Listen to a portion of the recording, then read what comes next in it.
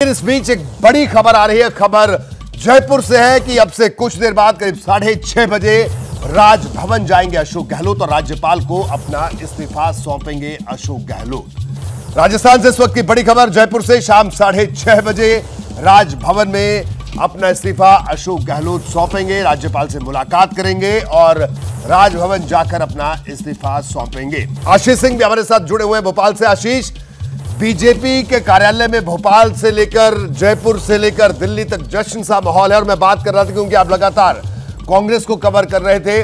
तो कांग्रेस ने कमलनाथ ने अपनी बात की, मैं देख रहा हूँ कि आप भी यहाँ अकेले खड़े हैं, क्योंकि बाकी जो हमारे तमाम सहयोगी बीजेपी मुख्यालय से मौजूद है, उनके पीछे तो समर्थकों का रेला है बीजेपी के। क्या कहना है?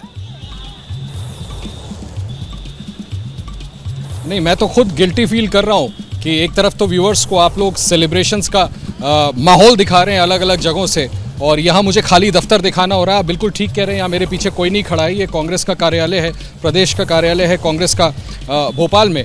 और अब से चंद मिनटों पहले रोहित यहाँ से दिग्विजय सिंह, कमलनाथ और रणदीप सिंह सुरजेवाला दिन भर की यहाँ पर बैठे हुए थे मॉनिटर कर रहे थे रिजल्ट्स को।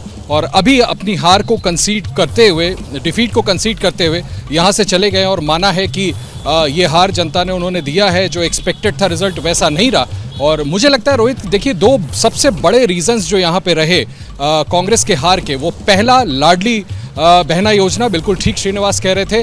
मुझे लगता है उसको समझने में ही कांग्रेस ने गलती कर दी, यहाँ की स्टेट लीडरशिप हो, चाहे सेंट्रल लीडरशिप हो, उसका काट ही नहीं ढूंढ पाई। इनको समझ ही नहीं आया कि लाडली बहना इतना बड़ा स्विंग ला सकता है, और इस बार एक बार फिर से बहुत बड़ा फैक्टर साबित हो सकता है। और मुझे लगता है दूसरा सबसे बड़ा अगर हम आंकड़ों को देखें तो जिस कदर श्रिंक हो गई है कांग्रेस पार्टी, वो अपने आप ही बताता है कि बाकी जितने कैंडिडेट्स हार गए, उनकी विनिबिलिटी ही पार्टी नहीं समझ पाई। यानी कि खुद अपने पैर पे कुल्हाड़ी मारे ऐसे कैंडिडेट्स को खड़ा किए, जो चुनाव जीत ही नहीं सकते थे। तो पूरी तरह से मुझे लगता है अटर फेलियर है कांग्रेस का, और बहुत सीरियस इंट्रोस्पेक्शन करने की ज़रूरत है। बिल्कुल आशीष।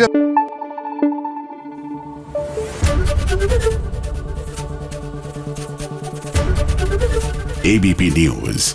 आपको रखे आगे।